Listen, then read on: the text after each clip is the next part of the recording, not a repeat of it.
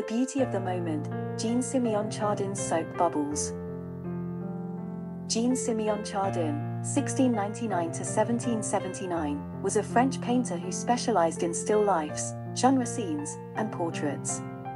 He was renowned for his realistic and delicate depiction of everyday objects and activities, as well as his subtle use of light and color.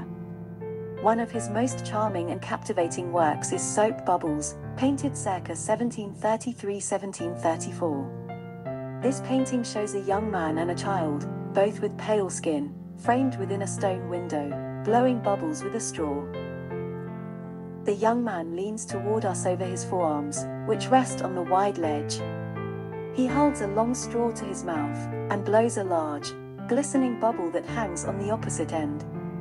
He wears a brown jacket over a white shirt, and his chestnut brown hair is tied back with a black ribbon. He looks down at the bubble with a calm and focused expression, as if he is fascinated by the phenomenon. The child peeks over the ledge to our right, and also looks at the bubble with curiosity and wonder. He or she wears a hat that curves up and over the crown of the head, and only the nose and eyes are visible. He or she seems to be eager and playful, sharing in the joy of the activity.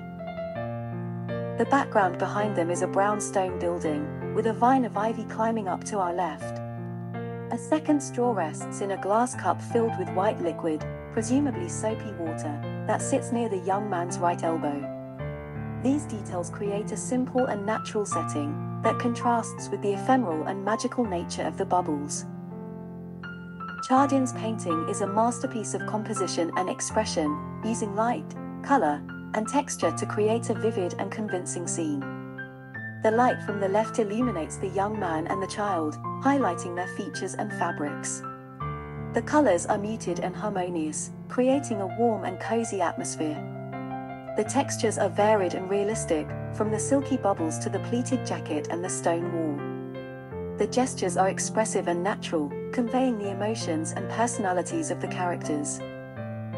Soap Bubbles is not just a painting, but a beauty of the moment.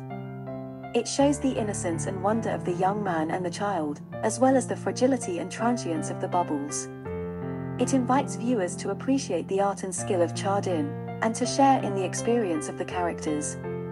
It is a testament to Chardin's talent and vision, and a delight for the eyes and the mind.